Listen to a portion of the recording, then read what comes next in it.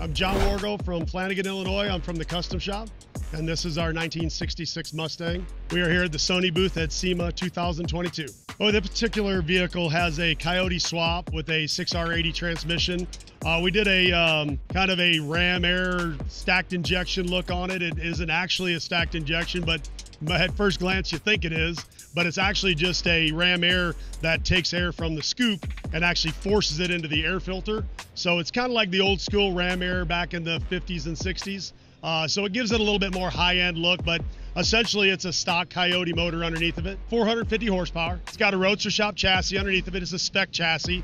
So it's uh, coilovers, four link. We love the Roadster Shop stuff. We've been using it for years. Uh, it really makes this car so much better because being a convertible, there's a lot of flex. So, you know, that chassis just allows you to get rid of a lot of that flex that these convertibles have. The other upgrade that that gives you is the ability to fit the Coyote because it gets rid of the upper shock towers. So on this one, it's got Forgeline wheels. We went with these because we liked the black with the diamond cut edge. So it, it gives you kind of the outline of the profile of the wheel, but it but it isn't like in your face, you know. And with a white car, uh, it's hard to go wrong with a dark wheel. Uh, we got Toyo tires on here and 14 inch Baer brake on the front. If you got some horsepower, you got to stop that thing too. Well, this interior is kind of unique because uh, we really tried hard to bring the exterior to the interior. So this particular one has a set of Pro Car seats that have been covered in uh, Apex leather and suede.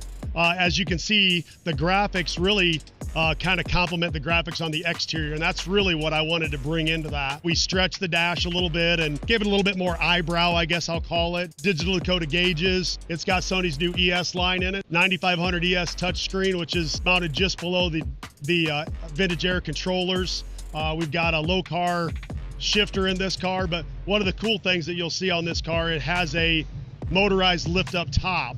One of the neat things you'll see in the center console is a, a, panel of switches. Obviously, power windows, everybody's got those, but we actually have a fingerprint touchscreen button so that it recognizes the fingerprint to actually raise and lower the roof. So as the roof motorizes up 12 inches, finds its center, and then it can float there all day on display, or you can pull the pins out, take the roof off, and run the actuators back down, and now you have a convertible.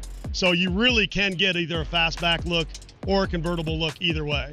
Uh, we we really did this because you know the you know the wife wanted the convertible, the husband wanted the fastback, so we kind of gave him the best of both worlds on this one.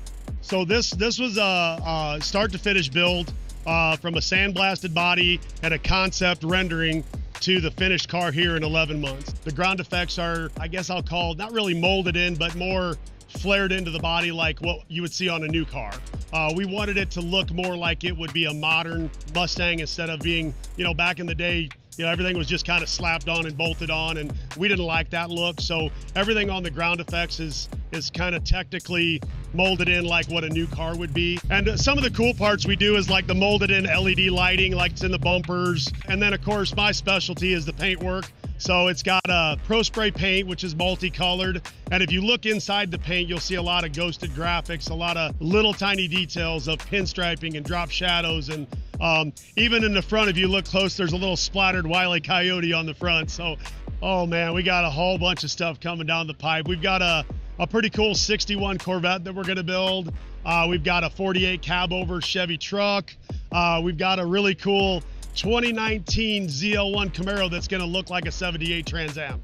Uh, so, you know, we're always doing something crazy out there. First of all, I'd love to thank Sony for having us here. You know, obviously without them, we don't get a spot out here at the show.